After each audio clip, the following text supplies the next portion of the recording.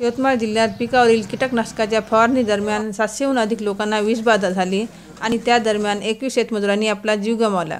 विषबाधेमुळे मरण पावलेल्या एकवीस शेतमजुरापैकी कलगाव येथील शेख अयूबने सुद्धा विषबाधा झाल्यामुळे आपला जीव गमावला. त्यामुळे शेख अयुबच्या कुटुंबावर दुःखाचा डोंगर कोसळला. कारण त्याच्या परिवारामध्ये एका वर्षामध्ये तीन माणसांचा मृत्यू झाला. वो दवाखाने में पैसे के मजबूरी से नहीं गया. उसको भाई नहीं. बाप नहीं उसके आगे पीछे कोई नहीं। उसके लिए पैसा नहीं था। हर रात ऐसा परेशानी में गुजारा उन्हें।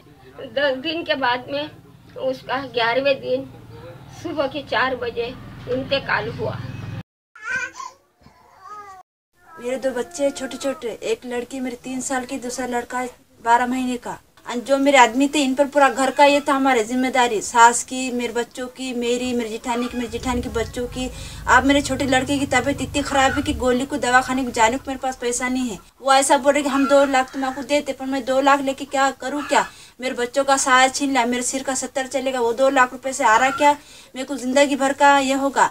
ज़िंदगी भर के साथ तुम देते क्या आदमी था तो ज़िंदगी भर का ये करता था। दो लाख रुपए लेके मैं करूँ क्या? तिचा प्रस्ताव पाठवलेला आहे. त्याच्यानंतर संजय गांधी निराधार अनुदान योजना जी आहे तर त्याच्यामध्ये लाभार्थी म्हणून यांचं नाव ॲड करण्याचा प्रस्ताव देखील केलेला आहे. माझा व्हिडिओ बघणाऱ्याला मी अपील करते की यवतमाळ जिल्ह्यात वीजबाजीमुळे मरण पावलेल्या परिवारापैकी कलगाव येथील शेख अयूबचा परिवारसुद्धा निराधार झाला आहे. या परिवाराला सुद्धा शासनाच्या घरकुल योजनेच्या व निराधार योजनेच्या लाभाची आवश्यकता आहे. त्याकरिता तहसीलदार साहेब यांना कॉल करावा. त्यांचा नंबर आहे झिरो बत्तीस चौतीस बावीस एकवीस झिरो तीन. मी कल्पना जवादे यवतमाळ महाराष्ट्रातून इंडिया नटसाठी